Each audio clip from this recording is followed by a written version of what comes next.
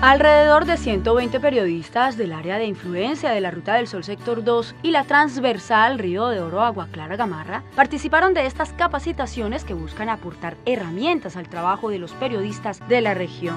Estos espacios los gestiona la concesionaria Ruta del Sol y Consol para poderle brindar a los periodistas herramientas adicionales de formación que puedan reforzar sus conocimientos y que tengan eh, mayor contexto para poder informar y comunicar a la comunidad.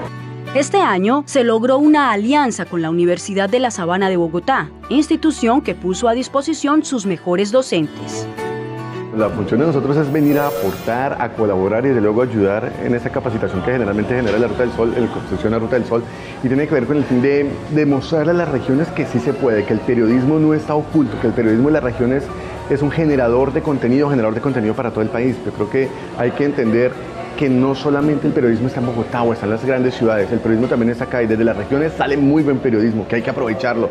Temas como la ética en el periodismo, las fuentes de información en las redes sociales y los géneros periodísticos fueron abordados durante la capacitación. Hoy la capacitación ha sido muy centrada sobre la ética, sobre el, el comportamiento del periodista frente a la noticia. No se deje llevar por el facilismo, que no se deje llevar por el morbosismo de la misma noticia, sino que sea algo que verdaderamente informe capacite a la comunidad.